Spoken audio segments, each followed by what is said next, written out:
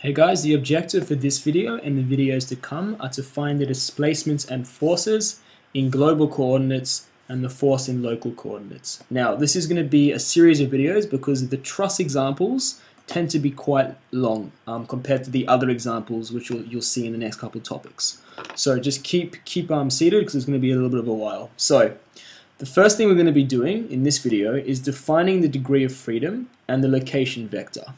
So degree of freedom, just like we saw in the derivation, so here's the derivation in the previous video, we have these axes or degree of freedoms in global coordinates. Okay, so just think of them in the x and y coordinates.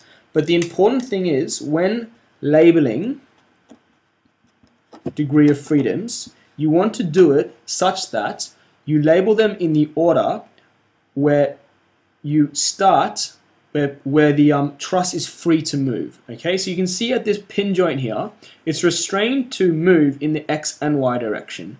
Whereas at this point here, this point can move up and down and left and right. So we want to come and label that first. Now, it might not seem, it might not um, make sense why we're doing that now, but when we go through this example, you'll see the point of doing this.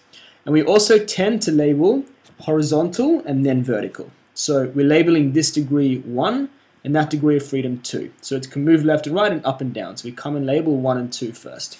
Now, nowhere else is free to move, so now we can start labeling the restraint conditions. So we're going to come and put axes there and axes there, or degrees of freedom there and there. Once again, these are both restrained, so I could label that 3, 4, or that 3, 4, and that 5, 6, and that 5, 6. It really doesn't matter. Once again, the convention is 3, I'm going to actually label that one 3 and that one 4. And this one will be 5 and that one will be 6. But once again, it doesn't really matter what you do. The only important thing is that when labeling degree of freedoms, label